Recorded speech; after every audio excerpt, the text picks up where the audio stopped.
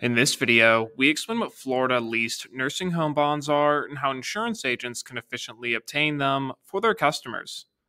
A leased nursing home bond is a government required surety bond that protects the public from financial harm if the nursing home violates the bond's provisions.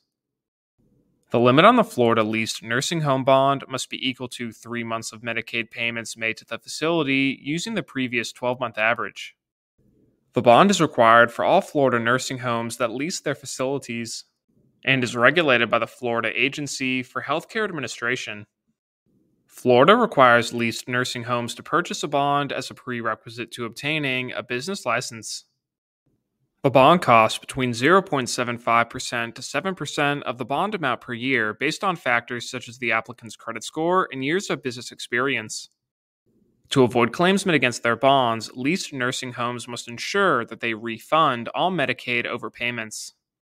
Bond exchange makes obtaining surety bonds easy. Insurance agents need to simply log into their account and search our database to find their bond.